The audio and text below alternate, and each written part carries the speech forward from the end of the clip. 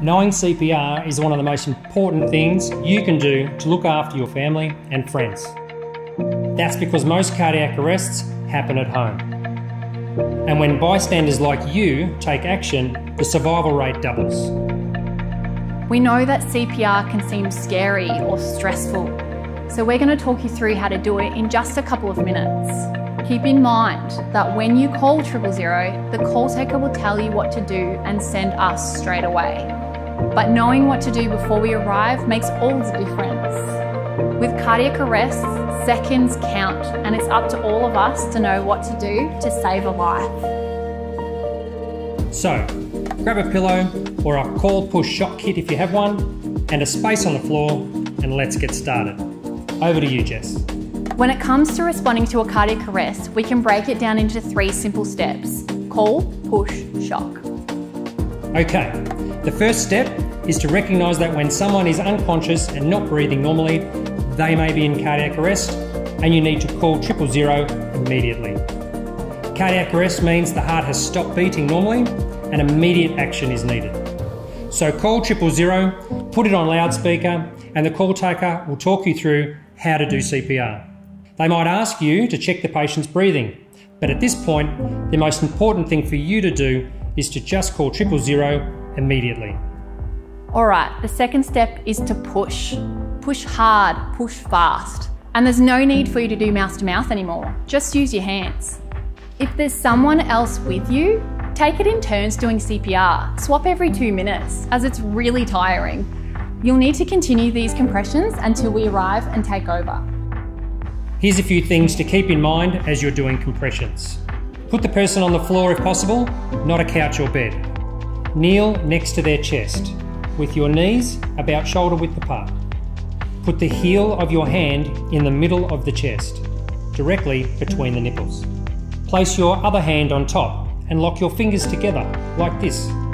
Try and keep your fingers off the chest. This will keep your weight on the right part of your hand.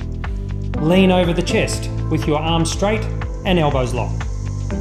Push down one third of the depth of the chest and let the chest rise back up before pushing down again.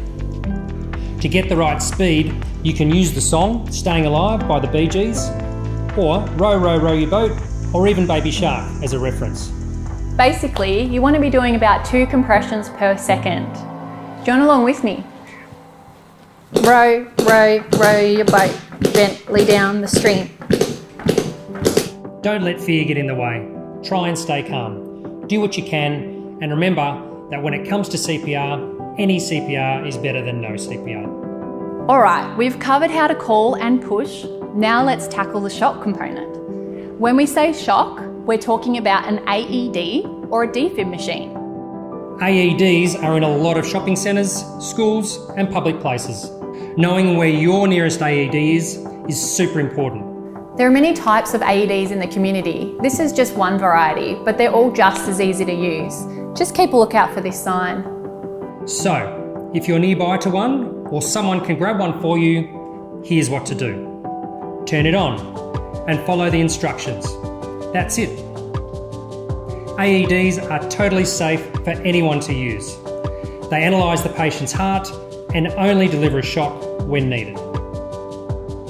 You don't need training to use one, and there's an automated voice that will tell you what to do.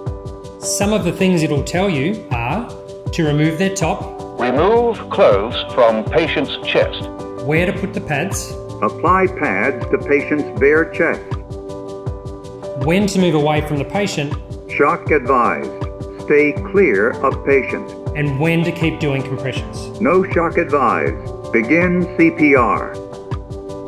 So there you have it. Call, push, shock. Call triple zero immediately push hard and fast between the nipples, and shock if an AED is available. Remember, when you call triple zero, the call taker will tell you exactly what to do, and we'll be on our way as quickly as possible.